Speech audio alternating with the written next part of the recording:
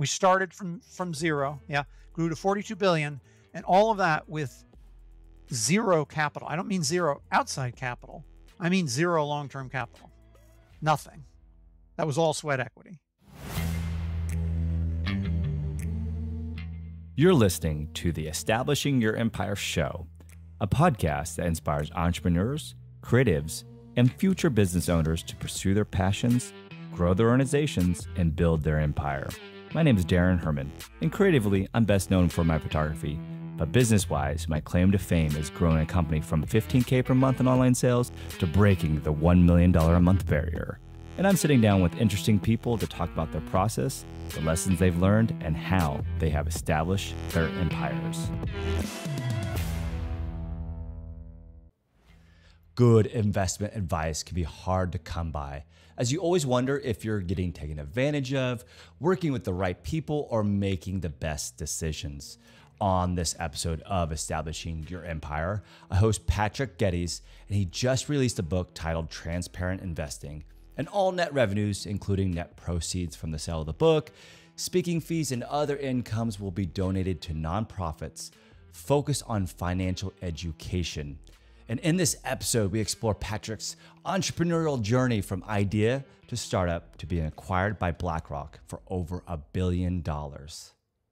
All right, I got Patrick here on the Establishing Your Empire podcast. Thank you so much for taking some time and uh, chatting with me today. My pleasure. When somebody has like your elevator pitch, like who is Patrick? Kind of what do you what do you usually say? I say I'm the kind of guy who's maybe a bit of a quant and really bad at making the elevator pitch. I am uh, semi-retired. I work 30% time. I have been the co-founder of Aperio Group, an investment management firm that grew to 42 billion in assets by the end of 2020. And now I'm an author of a new book, Transparent Investing, and it's really about a a kind of consumer crusade about get the truth out to investors about what the investment industry can and can't do for them and about the psychological hurdles investors face. So, very fixated on the truth, on uh, the Emperor's New Clothes story. That's who I am. You founded a company back in 1999, but you did a lot of cool things before that. So, how did you kind of get your start in this investment world? I actually had no interest in finance or investing until I was about 24. Stumbled in it. I was a history major, um, and then started taking some courses in it, and and found both. I really enjoyed it, much like history, and I was I was good at it, not so much like history. Suddenly, this this new field kind of opened up, and I uh, took a couple courses in a personal financial planning program and thought, well, why don't I just go and get an MBA? Went and did that. Um, then I worked for five years at an oil company uh, called Amoco, now part of uh, BP, and really enjoyed the the finance side, the number crunching. Just really, really got into that and learned how to do after tax risk adjusted cash flow analysis. Something that when I got over to the investment space, I was kind of shocked to discover why aren't we doing that over there? And I have it took me 20 years to figure out why. Uh, left Amoco and got uh, a call from a friend who uh, was at Morningstar when it was still a fairly young entity, and I'd been living outside of the country and hadn't really heard of them. Got back and got very fortunately offered the job for um, as their uh, their first research director. In fact, I'd been looking to go back and get a PhD in finance. I applied to seven programs and got into zero of those. So I was kind of, uh, I was going to try and apply again the following year, but this Morningstar thing landed in my lap. Uh, did that for three years, became their CFO as well. Then I moved back to California, where I'm from. And that's when I met Paul Solli, who was my co founder. And he never likes it when I describe it this way. He's the entrepreneur. And we both did entrepreneurial things, but what I mean by that is when he first said, you know, we could start a company, my first reaction, which is not the normal reaction of an entrepreneur, was, you can do that? So kind of stumbled into this entrepreneurial role and then just, you know, very fortunately ended up at a, a place where we uh, we grew it to, to quite a size. Do you think that if you wouldn't have met your your co-founder there, that you would have started a company ever? It wasn't my inclination. I I just don't have that mindset. And and one of the fortunate things in hindsight is we were a complementary pair. I, I would describe it in a couple of ways. One, um, on the sort of financial side, if he were left to his own devices, we would never have had any profit. If I were left to my own devices, we would never have had any revenue. Um, and similarly, he had really good market vision and branding. And I built our factory and was the chief investment officer and, and, and knew how to run a company. So either of us alone was not going to be able to do anywhere near as much as as we could as a pair. And that was a very interesting part of the lesson is how do you best tap into each individual's best skill sets and make sure that you don't have the wrong person in the wrong role. That sounds so easy, yeah, until you introduce ego and then then it's always going to be a challenge. Ego is definitely a challenge. Let's go back to, you know, the 1999, 1998. Like how did you actually start the company? So you were working for, you know, you had corporate jobs, you were doing this, but yep. did you just get talked into it or, or, or, or was there any story that actually got you to get started, right? Um, it, I was, I, so I'd left Morningstar in 96 and I was teaching graduate level portfolio theory, but I was kind of floundering around. Um, I know you're never supposed to acknowledge that the, the, the, track when you look at the resume looks so linear and like no I was I was casting about not quite sure which I let's say I just turned 40 in 1998 um, so he didn't really have to twist my arm because it was an interesting idea and I didn't have much to risk um, and we the uh, interesting thing is we never actually formally agreed handshake let's start a company. It was more like each conversation was getting closer and closer to just presuming that kind of like a a couple that is living together and has never really said let's move in together. And and then uh, then we formally uh, filed the paperwork in July of, of 1999 and it you know it was just two of us when we first started and we even had a bunch of different ideas we were talking about uh, investment education we were talking about being more of a wealth management firm and then the idea we did come up with was kind of both of ours. It was Paul's idea originally to build portfolios around existing positions with a, a heavy risk management offset. So that was his idea. And then I said, you know, if you're going to do that, there's a really interesting tax angle. So we kind of invented it together, although it, it definitely would not have come from me. I just, I don't, I, there's certain areas of creativity where I, where I am, I don't I don't have it. Certain areas uh, where I lack that kind of creativity. Yeah, and then do you remember? And I just like love to kind of go back a little bit. Do you remember like your first hire? Was that was that something that was scary yeah. to you, or was that somebody that you just you just needed help with, or what, what was it? No, it it was fun. So so there were just two of us, and then we had a, another partner join a couple months after we got started. Uh, uh, Paul uh, brought that fellow in, and then about four years later, we had a fourth one join. And I did say, okay, we're done with hiring partners and kind of spreading around the ownership. Then our first employee was February of uh, 2005. So about six years in. And no, we actually went and interviewed, and it was it was interesting because we were kind of creating the company on the fly. And so, you know, like, what, what's the job description? Well, I'm going to have to walk you through some of, of what I do it was interesting to to um, finally get it going. I mean, it did feel like we were becoming more of a real company. We we had 890 square feet of space and moved to a huge office with like 2,200, which was just boy, that was that was gigantic. Um, and and that started the the hiring and the uh, feeling more like a real entity rather than a than a plan. And then you guys grew to over like 120 employees. Uh, and like you were saying, what was it? 40, 40 plus billion dollars billion. assets yeah, under we started from from zero. Yeah. Grew to 42 billion. And all of that with zero capital. I don't mean zero outside capital. I mean zero long-term capital. Nothing. That was all sweat. And that, that is absolutely amazing. In order to get there, was there uh, a different approach that you guys had, or was there some kind of secret sauce or something that just really got you, all, you know, all these um, clients and and different, uh, got you all the different uh, portfolios, right?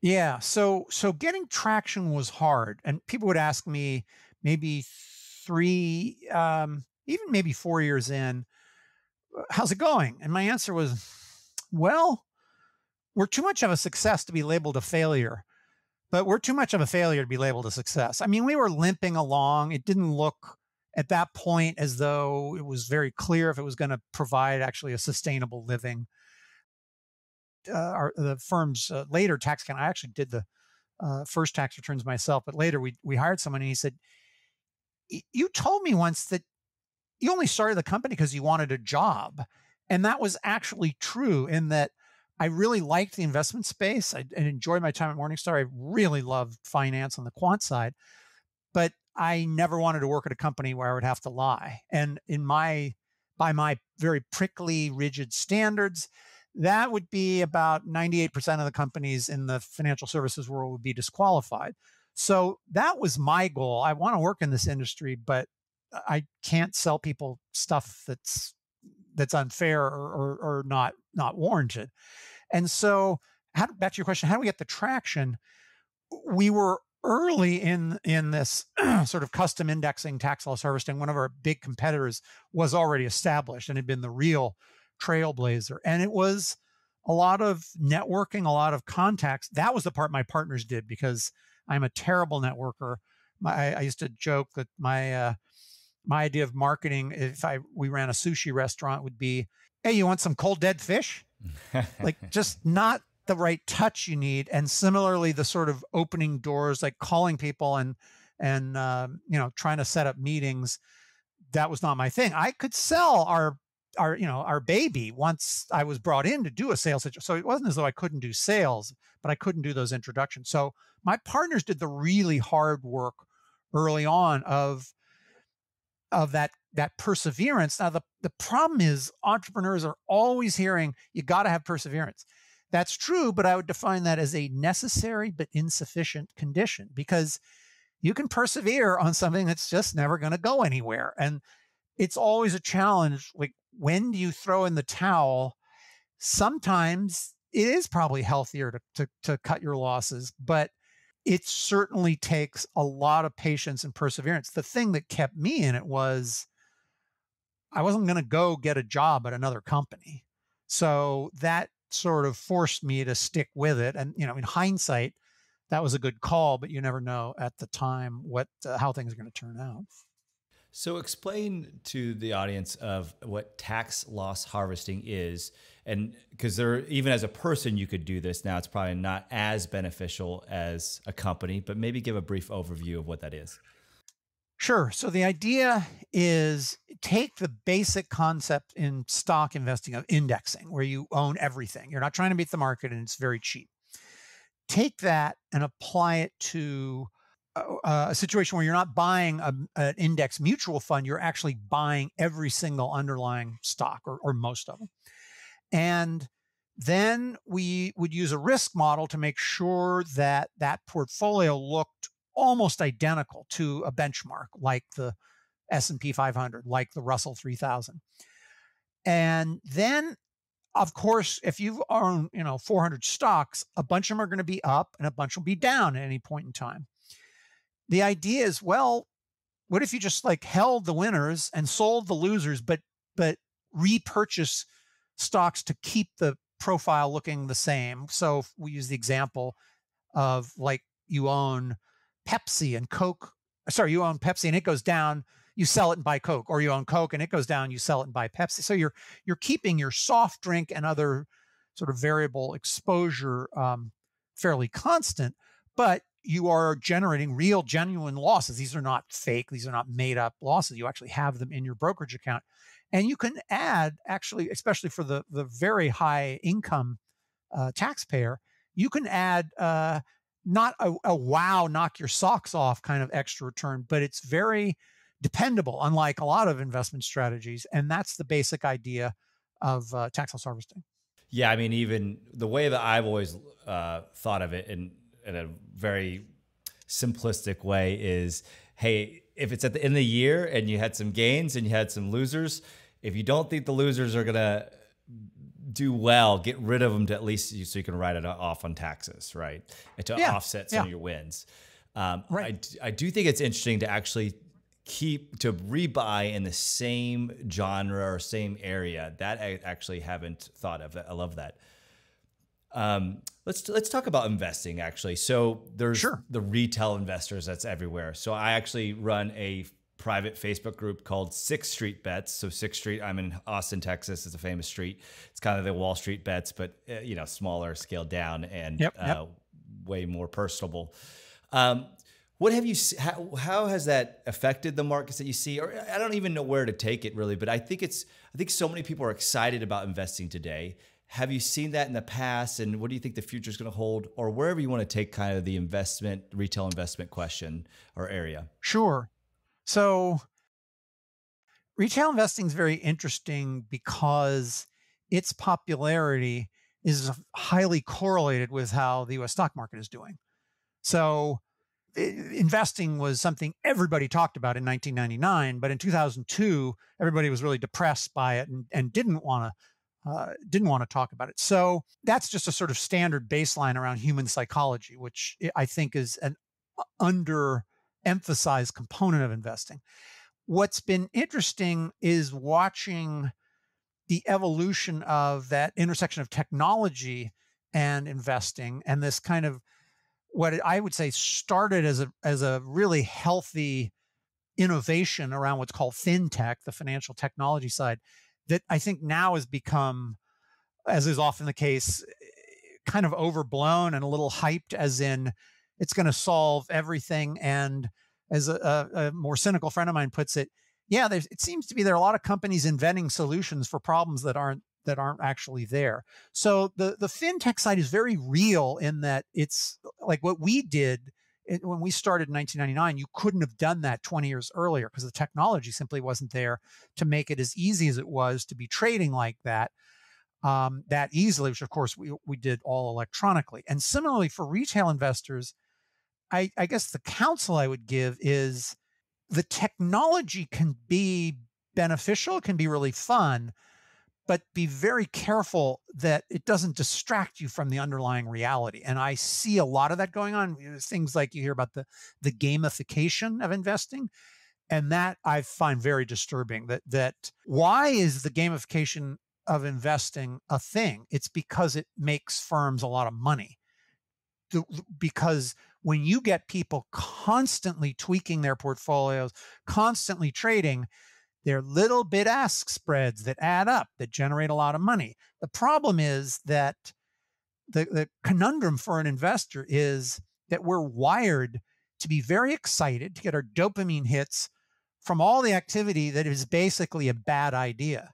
And the stuff that's a really good idea is boring, uninteresting, and anything but sexy. And, and it's almost like we have to talk ourselves out of the fun stuff in order to have a lot more money, which everyone, of course, says, but uh, obviously my goal is to have a lot more money. Yeah, then why do you keep playing at a game that is not likely to pay off when the smartest thing to do is invest in capitalism, take a 20, 30 year time horizon, assuming that is your time horizon, and just don't look at your portfolio. But that that's not good clickbait, let's put it that way there's there's the fear of missing out. You see somebody that Yo, made five hundred percent in one in yep. one day, you know, and, and I've been over I here making three percent trades. Yeah, I, have been making all these three percent, you know, net trades and seven percent, and um, so let's talk about your book then. That I think it's a good segue. Sure. You know, transparent investing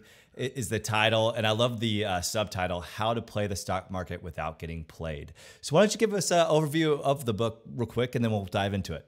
Sure, sure. So, the the the book is yet another investment book. So let's start off. This is back to the uh, sushi cold dead fish.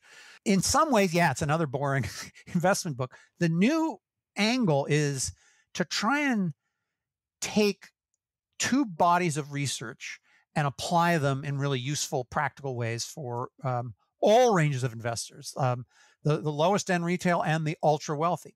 So the two areas of research uh, the first one is what's called behavioral finance. This this intersection of psychology and uh, and economics or finance, and sometimes behavioral economics being a broader term there, and that's that's gained some traction. That's that's a accepted field now. Whereas when like we when we started Aperio, even academia was like this isn't a real finance and investing degree, like this behavioral thing. And now people have been winning Nobel prizes, and it's very much uh, accepted, appropriately so the research on that is all about how our brains are hardwired from through evolution to make poor investment choices.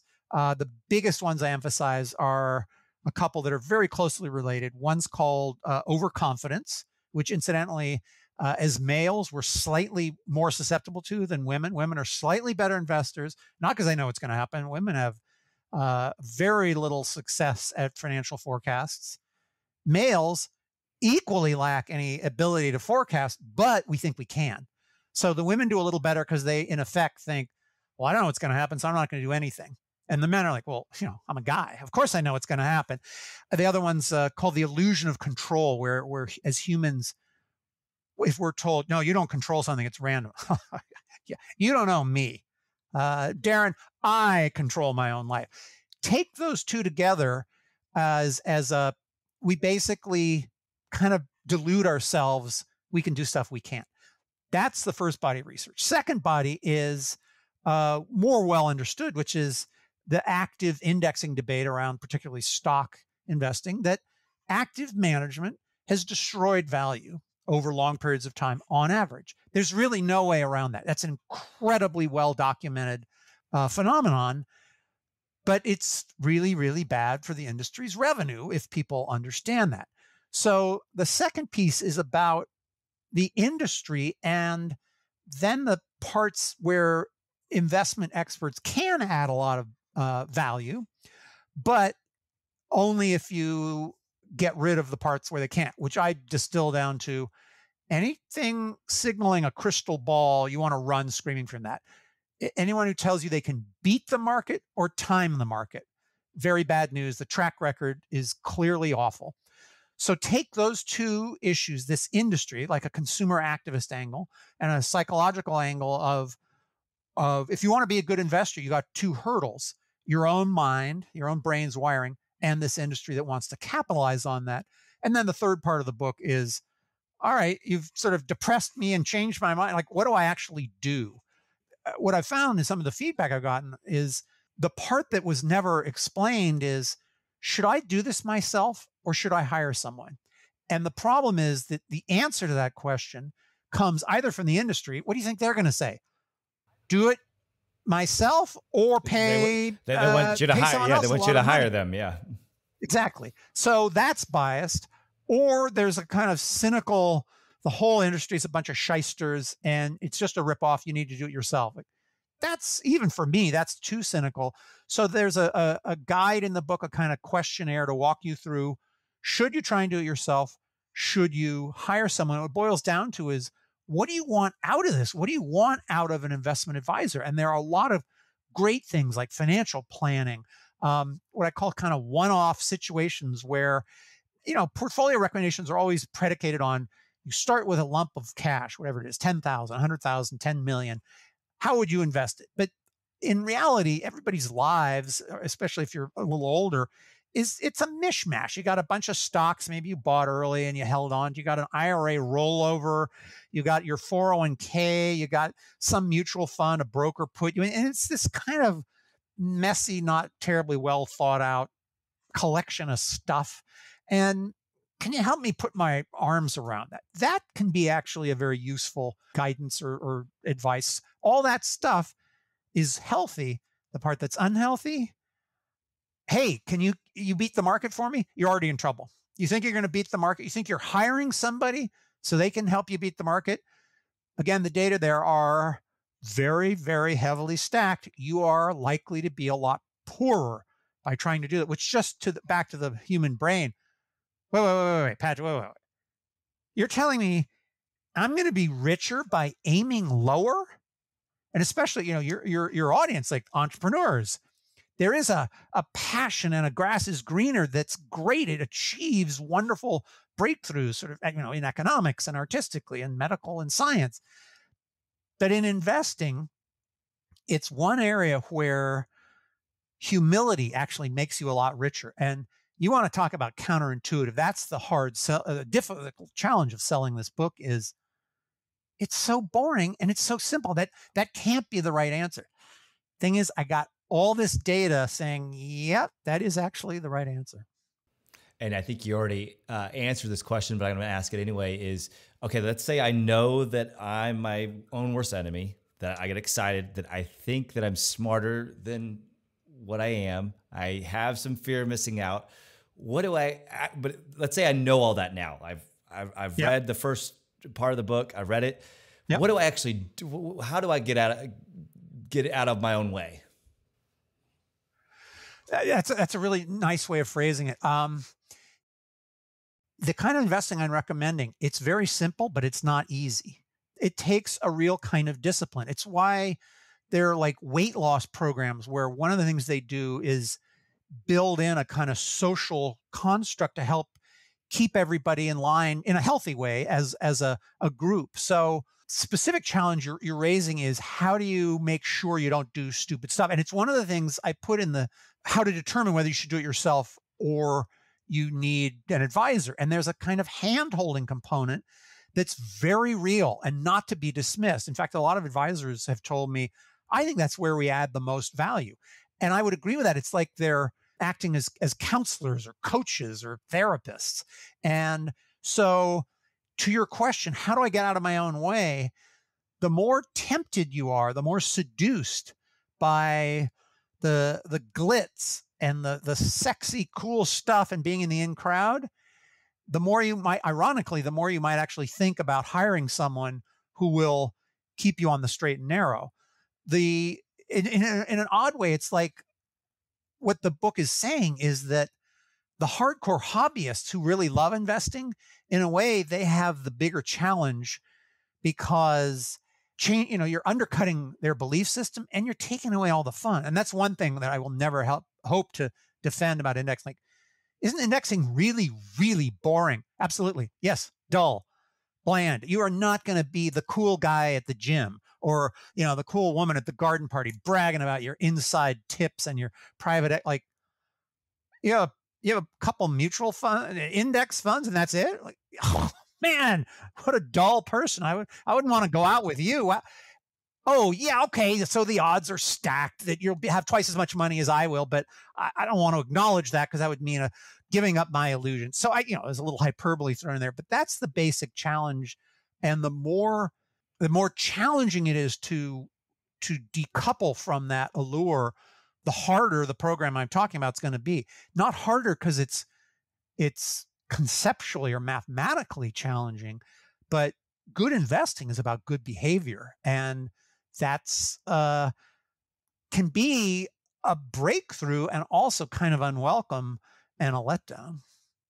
I think it's perfect timing for that message with the market changing right now, not being as uh, exciting as 2020 was, uh, and also a yep. lot of people losing a lot of money you know, yep. down 50%, 60%, 70% yep. of the portfolios. Yep. Uh, because they were, you know, uh, going all in on some uh, meme stocks Crazy or stuff. whatever they were doing. Yep. So, um, yep. Yeah, and, and, I get myself in that too. I not so much in the cra- too crazy, but um, trying to pick winners, trying to see the market before it happens, a lot of that stuff. But I do get enjoyment out of that too. So um, I, I I'm more of a I'm gonna do both of it. I'm going to have it to where I'm actively managing it myself and a small percentage. And then the rest is just, you know, Vanguard, really, really inexpensive yep, yep. index funds. Yeah, yeah. And that's actually, I, I, I wouldn't be surprised if that approach you're talking about actually gains some traction and becomes more popular. This idea of, you know, we need a little fun in our lives. We don't want to all be dour Calvinists like Patrick Geddes is telling us to be. Can't I carve out 10, 15% of my portfolio? Have fun, go to town, do research, find the winners, but my retirement's based on the 85% that's boring. And maybe that'll actually become a great model. So the, what you're talking about is slightly um, contradicted by my book, but who knows? Maybe maybe I need to develop it, get even more sophisticated around human psychology, and say all broccoli and no chocolate cake is a pretty boring diet. And, uh, and, and even though it's only ten or fifteen percent, if you make five hundred bucks or a thousand dollars off of what you did, sometimes that's more exciting than making a hundred thousand dollars over the course of time that somebody else did. So why write a book? Why even why even do it? Because I have a serious thorn up my backside at watching dishonesty and let's call it lying. And the investment industry is one I know very well. And it, you know, lots of industries are have, are a little challenged. I mean, no industry wants completely informed consumers. It's not as easy to sell people stuff when they know the real story. But investing boy, that's got a big impact on people's lives where they are consumers, but they're also looking at their financial future. And to watch the amount of money being siphoned off from people's retirement into the revenue coffers of an industry that's not it's frequently not very honest I, am not i'm not throwing the industry under the bus it's got does a lot of great things there's some there's some honorable players there's some real value. It's like a lot of human endeavors. It's a mixed bag. The reason I wrote this book is um, also came out of a what you call like a, a, not a spiritual crisis, a moment when Aperio was still limping along, and I thought, you know, this actually could turn into something. If it hits this certain level, I'm committing. I'm going to do something to repay the generosity uh, pouring in on, on, top of me. And then that that good thing happened, and Aperio did grow. And I've kind of been in arrears for, I don't know, eight or 10 years. I, I'm behind on my debt payment. And I'm, I'm so relieved that the book is out because the purpose of this book was to try and help people as consumers. Because when I'm a consumer looking at an area I don't understand well, uh, there are many, many, um, uh, like, like, uh, uh contractors dealing with home home projects. Like, you know, I've actually done a, when I was in high school bits of construction. I'm not completely clueless, but I, I don't know how to think about it or start. How do you make sure you're not getting ripped off? And I get so intimidated by it and sort of frustrated. You try and do research. It's all basically sales pitches. Or uh, along those lines, like I had a plumber come in once who uh, was putting in a faucet, and I said, oh, "Can you check out a couple toilets that I, it's got minor problems?"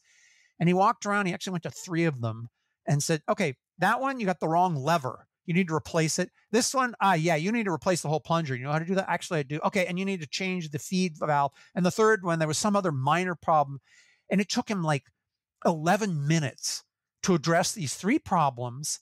And it just struck me as, wouldn't it be cool if in the investment world you had something like that? Tell me the real story, not the one that makes you the most money.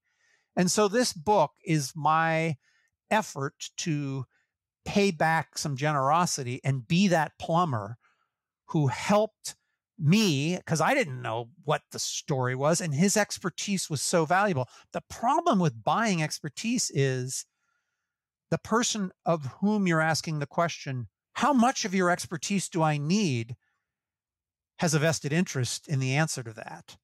And so the book is trying to tell people if you look at investing as a consumer first, actually, the suggestion is don't think of yourself as an investor first. Think first as a consumer and as this biological entity that came out of evolution of Homo sapiens have been around what three, four hundred thousand years. How you're wired, those are the two most important things. Then start thinking of yourself as an investor. So the book is an effort to try and help the consumers who are intimidated by the process, intimidated by the game, and that's the hence the title, how to play the market without getting played. And you mentioned earlier that if somebody says, "Hey, that they can beat the market," that's like a red flag and run. Any other red flags or things that you hear that you just cringe, or you should, yeah, or should people yeah. should be aware of? Sure. So, um, free is a dangerous word in the investment world when you hear free, you want to start thinking, okay, people only do stuff in this industry when they're getting paid somehow. Where's the cut? You gotta you gotta look for it. So, for example, I uh, I was once doing some uh, volunteer uh, tax returns for low income people with this very nice woman who worked at an insurance office. She said, "Yeah, and sometimes we do a little bit on the investing side, and we you know put people in mutual funds, and we don't charge them anything. It's free." And I heard that, and just like the red flag went up. Like, Whoa! Wait, wait, wait, wait, wait a minute. Are you talking about? And then I got you know some techie language. Are you talking about 12B1 class B share load mutual funds? And she said, Yeah. And I was like, You don't want the SEC hearing you say that because you're telling something they consider misleading and dishonest, and you could get fined for it. It's not free. You're paying 1% of your portfolio every year for five years. That ain't free. You're not writing a check. That's very different. You're paying a lot of money. So you ask for what red flags always pay attention to the economic incentive of anyone giving you advice, which sounds a little cynical, but and apply that to everyone. Apply that to me. That was why uh, when I was coming close to this book getting published, some of my uh, um, folks helping me out and advising me said, you know, you keep talking about this conflict of interest in the industry. Why don't you just donate all the proceeds from the book and then you can clarify you're not you know you're not in the wealth management business you're not trying to generate a name for yourself and all the money's going to financial literacy. And i was it's kind of embarrassing to realize like gee that's kind of obvious once you say it but i had to have them them prompt that. So that's the the, the role of the book is wake up and smell the coffee. Look at the fees be very wary of the the promises of outperformance and be wary of investment experts who use jargon to to browbeat you. Like if they can't explain it in simple terms, your your radar should go up around what's going on here. Uh, and there's a there's a kind of a I call it the "Don't worry your pretty little head about it" school of investment advice. That should set off some alarm bells, as in, well, that doesn't sound that doesn't sound uh, justifiable. And uh, it, and it's hard because sometimes investment advisors tell you stuff you may not understand that's actually really really useful and, and of value. So it's it's it's tricky. Let's talk about actually writing a book right so i'm actually in the process of writing a book and um, pretty far along but then you know getting stuck going through some you know ups and downs and sometimes you sprint and then you stop. Any advice of how you or any stories of how you actually wrote the book? Any um, routines? Sure. anything that helped along the way? Yeah. So this again depends on personality type.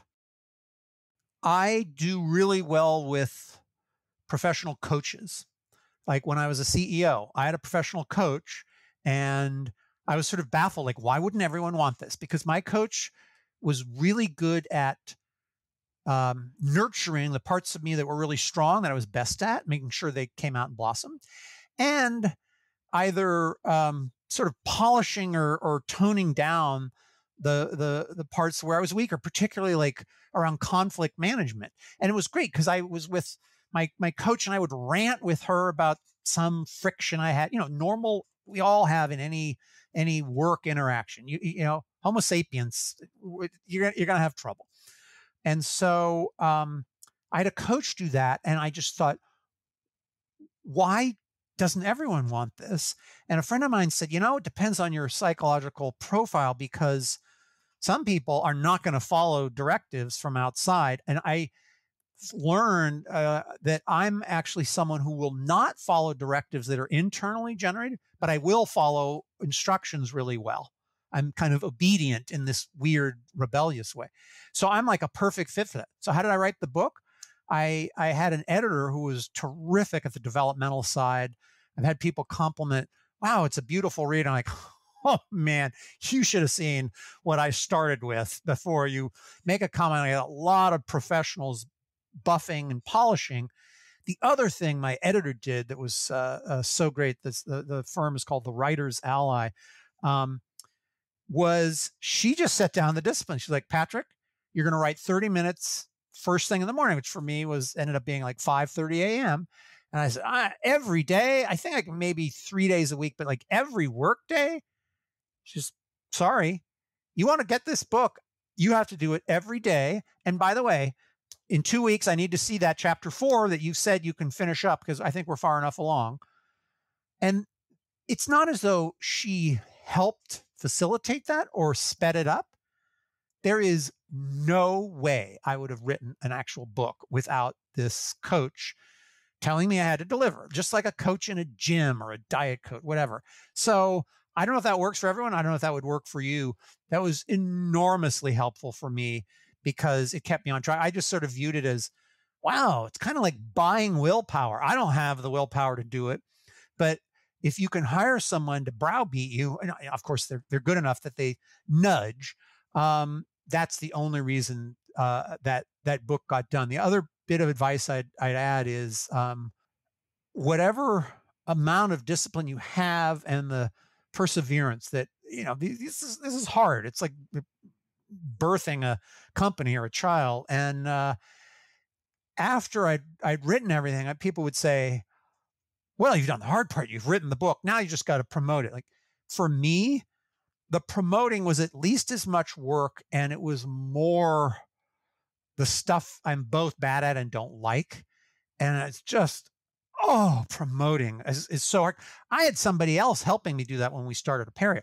And he would look at me as like, wow, how do you know how to do this tax quant stuff and build this automated fact? Like, I couldn't do that. I was like, no, you couldn't. But you look at the marketplace and see where it's going. And I look at the marketplace and think, wow, I'm sure there's some trends going on. I have no way of spotting them. I have no idea. So there's a kind of humility piece there. And a, around a book, get help if if that's feasible, or friends, something you know, like a writers group, something to kind of keep you on track. And it's a long haul. And I'm not going to say, oh yeah, it's always worth it. it. It's feeling right now as though, am I glad I did it?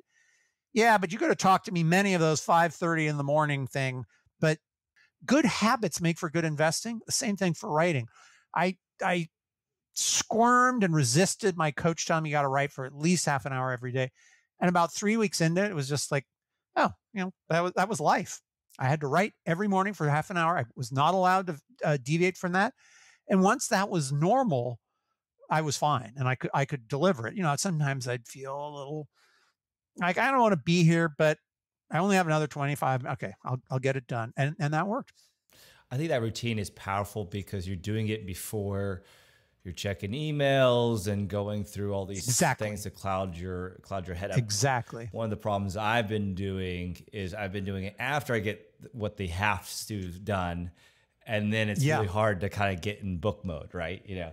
Well, and, and it's and it's funny. You can always find draw more that, things to do. It, it's it's exactly like um, saving and, and and one of the things i don't talk about at all in the book is like spending and saving and budgeting and again that's really hard. One of the tricks i've always read about there is pay yourself first. Always do your savings and then you'll figure out how to work the rest in. Similarly to your time budgeting as it were if you pay off your book first the other stuff you got to do it. So while that sounds a little backwards, that might be the way. I don't know if it's in the day or a certain prioritization. I'm also a big believer in, you know, we're, we're weird creature. I, I look in the mirror. I know I'm a weird creature. I look at other humans. I think we're all a pretty weird uh, collection, and everybody's got their oddball quirks and traits. Whatever trick works for you is great. So, like one of mine was when I was working really hard um, and feeling overwhelmed, one of the disciplines that helped me like avoid procrastination, this sounds completely contrarian and backwards, was I would force myself around the time off, not around the work piece. So it was like, you know, I've not gotten enough time off. So like last uh, July, August, September, I think I took four days off in those three months, including weekends. So it was it was harsh. It was like like when we were going the company, I was working my backside. And the way I would get to a healthier place was not, or, or more productive, was not, okay, I need to work every single day. It was actually, all right, this is getting bad. I need to carve all of Sunday out. That is forbidden. And I would make that commitment. Like, you don't have to work on Saturday, but you're forbidden from working on Sunday. And knowing how my mind works and the way I am in some ways disciplined, in some ways like to cheat and slide, like Saturday, I'd be like, I don't want to be doing this. I'll do it tomorrow. You're not allowed to do it tomorrow. That means I have to do it. Today. All right. And I would actually get the work done Saturday and then take Sunday. And like Sunday evening, I would just be, what a blessing. I got a whole day off from that inner Calvinist. So I would, again, not recommend that for most personalities. If you're weird the way I am, that works really well. If whatever way you're weird, find some sort of trick the way it, it, you approach all discipline you know um, exercise diet saving meditation you know a religious practice or or you know i, I have to, I'm, a, I'm a painter and i have to paint an hour a day or i'll go no, you better carve that out whatever whatever works it's the same thing plan your day or their day will play on you plan your year or the year will just oh. happen right um, yeah yeah so uh, Aperio Group got acquired by uh, BlackRock. Everything's fantastic. You just got a book. Okay, what? Give us like five years out. Ten, you know, in the future, like what? What's your next step? What? what, anything else going to happen? Falling on that advice you just gave of if you don't plan the year, the year will plan you. Um, I just want to get through this launch. I would like to turn this into more than a book to a real movement, a real consumer activist movement. However, I've had some folks saying, well, you need to hire some people build an organization. And I heard that. I was like, no, no, I did that. I built a company and I bet I could be effective at that. It's exhausting. I don't want to do that. So I'm hoping to find some sort of balance of the fulfillment from the consumer activism, some nonprofit stuff, some volunteer work I do, but also, as I was saying earlier, like carve out that plate. Like you need some downtime, and especially so uh, we're 23 years since since I co-founded Aperio. I need a little downtime, but not too much. I asked my wife uh, probably five, eight years ago, "What do you think about me in retirement? Like how that'll work out?" And uh, she said, "Knowing you, your your personality." you will self-destruct if you don't have a receptacle for your energy. You got to be doing something. And I was like, wow, all right, this woman. So at the time, you know, has been living with me for uh, between 20 and 30 years. I better pay attention to that. And similarly, my um, my uh, executive coach was was complimenting me when when I did go into semi-retirement 30% time. She said, wow, what's so cool is you've kind of built this other life and it's there you can step into. I'm, I'm impressed with that. And I just looked at her and said, Sue, you told me that's what I had to do. That's the only reason I did that. You said build that life you want to lead because I asked her four or five years ago, how do I avoid the problem of thinking my life starts once I go into semi retirement? She said, you got to construct it. So, what am I going to do to answer, try and answer your question in five years? I don't know. I hope it's some fun blend of of some relaxation, some, you know, in a world where we could travel more easily, that would be great. Right now, the working as a consultant for 30% time is great. I really like that. I, I wouldn't want it to be 50, that'd be too much. I wouldn't want it to be zero. I like the engagement, the intellectual stimulation. And so I'd continue that for a while. Where this this self-righteous evangelical pulpit thumping uh, consumer activist take on the industry thing goes, I have no idea. It could, you know, be an interesting little fizzle that's in six months is quickly forgotten, and uh, so be it. Or what if it actually gets traction? Just want to keep it really grounded in this is supposed to be my repayment. So the only requirement is it can't be about me with the one caveat of I do not want to pour 100% of my energy and life into it. So that was a very long winded and meandering way of not even really answering your question, but hopefully at least addressing the next five years in my life. Well, the, the question is more for you, I think, than anything. But um, so, okay, you know, you found this company way back in 1999. You were saying you're 23 years ago. Any regrets along the way?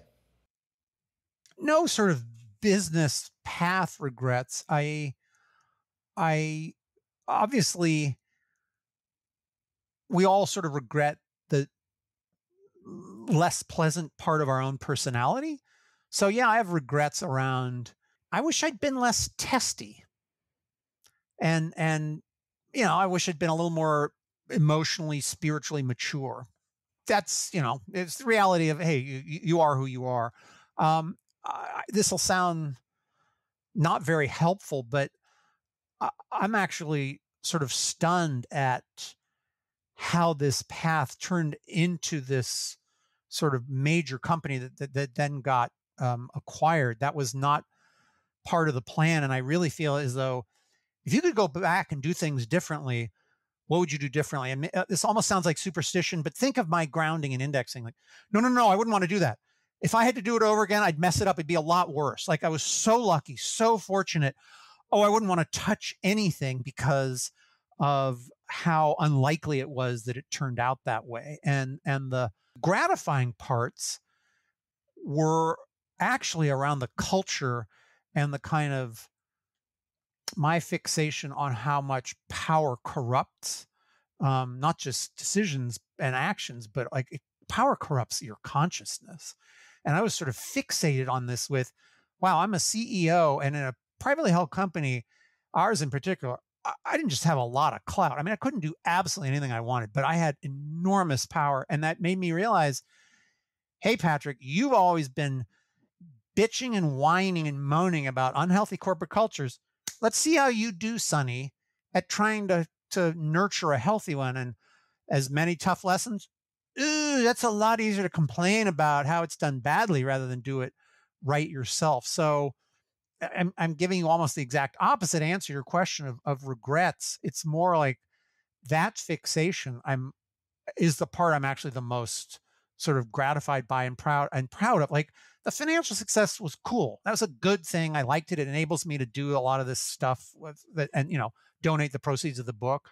But the real the thing like I, I tend to view my life as what are you going to look at on your deathbed that was good and what was bad? Okay, do the stuff that's good now and stay away from the stuff that's bad. And trying to get a culture that was focused on two groups of people the customers, the clients, as in treat them the way that plumber treated you in that earlier story. Like treat them the way you like your vendors to treat you. And then similarly for the staff, if I wouldn't wanted to work at Aperio at the lowest rung on the ladder as an entry level person, that meant I was a catastrophe as a CEO. It meant everything I'd stood for, sort of ethically, and all my bitching and whining about about um, unhealthy company cultures was all for naught, and I was a fraud. So I, that was very very hard, but really gratifying to watch the world, which is so used to being sort of BS'd and played, and I, I describe it as companies, I think, tend to view both their their clients and their staff to too great an extent as a dish rag from which they attempt to wring the most moisture. And that's gross. And what I wouldn't claim that acting more sort of honorably to both of those groups, your, your customers and your, your staff, is going to make you wealthier. But I will say it doesn't mean you'll be worse off financially. We ended up establishing this reputation as someone you could actually trust. And we had quite low turnover. And, you know, obviously you need to ask the staff, not me. It's a lot easier for me to say that as a former CEO, but that was the achievement that, that really meant the most to me. Um, and that back to regrets, that's the thing I think I would have regretted if, if we hadn't stuck to that. And that was my, you could call it passion. Let's be more honest. That was my like fixation, obsession. Just you you got to tell the truth, and that the company name is the Latin verb to make clear, reveal the truth. That applies both externally and internally. And humans do not like the truth all that much because it undercuts our narrative and the stuff that makes us feel good. And so I as I said, I'm just so glad we were able to get at least some uh, ethically honorable cultural um, behavior established. And what I was going to say there too is it's no wonder that you named your book transparent use the word transparent because you're extremely transparent even in these questions of, of how it mattered so much even just at every level of the company uh, of of what you were saying it, if you said something, it needed to, it needed to be the truth. It needed to be real. Um, what about if we go back, you know, since we're going back again, let's go back all the way to your, you know, your high school self, 16 year old self. What, what, what piece of advice would you give yourself way back then? I, am not, you're going to think this is a flippant answer. High school, high school, I think I might actually give myself some advice like later in life, the stuff you're going to regret is not paying enough attention to where when you're interacting with people how you might cause them pain or suffering. And you need to pay really close attention to that because you will feel better about yourself put it in very selfish terms the more you're looking out for others. But I, the reason i was sort of chuckling when you said what advice would you give to, to me as an adolescent let's say uh, like when I when I was in in my MBA program, so late twenties. What advice would I give that guy at say age 27? I'm not making this up. I've said this a number of times. If I could meet me at 27, I would ask him for advice. I'd be like, you seem kind of like grounded. You're doing this fun thing and you've got this sort of light hold on the reins and there's a lightness to you that I don't have at 63. What should I do? And of course, the 27 year old me would be like, but you've been through it all. Like, I, I know, but you know, I like I got here's the bad news, Sonny. I don't necessarily have it figured out. And I, I think you had it at least as figured out as I might. And what do you think I should do? So if I could talk to me at 27, I'd ask him for for insights. The me as an adolescent, I yeah, I would throw that one in as as watch out for inadvertent and, and unconscious harm you might do to others.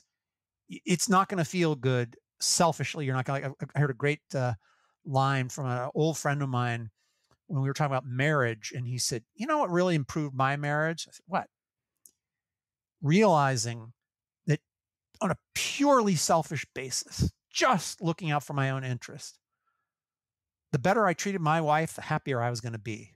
I was like, good lesson there. And and what I really like about that is no bones about trying to be honorable compassionate. You know, he's not he's not aspiring to the Dalai Lama's advice. He's like selfishly looking out for number one. I've got to treat my spouse better. And I, I just it's I so that, that is so uh, true though. The energy changes when everybody's happy. You talk to each other better. I mean, everything's and I, we talk about that. My, my wife and I, and we have a fantastic relationship. But it's like you know we gotta be able to lift each other up from the beginning you know don't let's not start yep. wrong. Like let's try to start well and then you know things are gonna get off the rails sometimes. It's gonna happen but uh, at least try to make each other happy.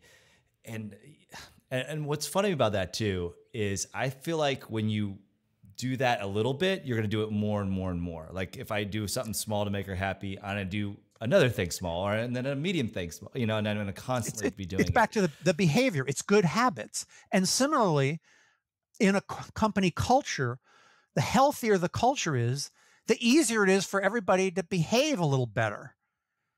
And the, especially you gotta you gotta lock down unhealthy behavior. Like we had a very serious conflict management policy. Like all conflicts got to be out on the table. No triangulating, backbiting conversation. And I say that as one who would fall into that trap. And so the the good habits come out of or are easier to to maintain in good situations and in that kind of social uh, construct. In fact, I was uh, on the same line. I was just chatting with a. In fact, it was the same friend who who um, who made the comment about uh, his wife. We have different political views, but I have enormous respect for him because, unlike almost everyone else I know, he's very respectful about views that are different from his. And I was telling him how much I admired that. And he said, Well, you know, I have buttons that get pushed. It's just you happen to not push them. And it made me realize that when I was around him, I could let my defenses down and I could say things like, you know, I'm not really sure about this point, which you don't want to give that if you're in a debate, a serious battle. And it was because he was so non threatening, respectful, you know, kind of a mature guy. And that enabled me to bring my best self. And that kind of helped reinforce our interaction to where there were points and we'd be talking politics and I'd be defending his party, saying, "No, no, you're being too hard on them. You got to look at it this way." And I was like laughing, like, "Okay, this is this is an interesting world." Of course, that was that was a, a different. That was like 25 years ago. In today's world, um, very hard to do. But same mindset of try and bring self awareness and a uh, a worshipful attitude around the truth. And what I mean by worshipful is, how do you know the truth? You only know the truth because it makes you unhappy. If what you think is the truth always makes you happy, you're lying to yourself. You're feeding what your what your ego and unconscious wants.